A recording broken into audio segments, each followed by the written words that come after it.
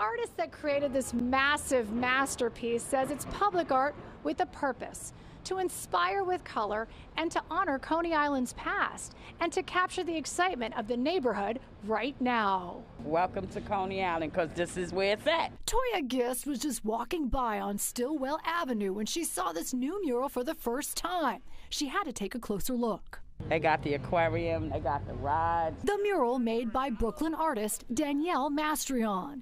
It's just across from the subway station. Mastrion spent two months creating it. She had hoped it would inspire, draw people in, and make people happy. Mission accomplished. Danielle, that's who did it? Yeah, that's her right there. Oh, that's you? Oh, nice to meet you. Can I shake your hand? This is beautiful. Thank you This so is much. really, Thank really you. beautiful. Mastrion has created hundreds of murals like this one all across the city, 15 in Coney Island. She grew up in Brooklyn. This one in particular is very close to her heart. The whole idea behind the mural is it's it's Coney Island in all aspects. Everyone loves the Friday night fireworks, which happen in the summertime. People come for the mermaid parade. We met Mastrion back in January when she was working hard in the winter on this mural on the boardwalk, bringing color to Coney Island during COVID. Her target audience, she says, is everybody.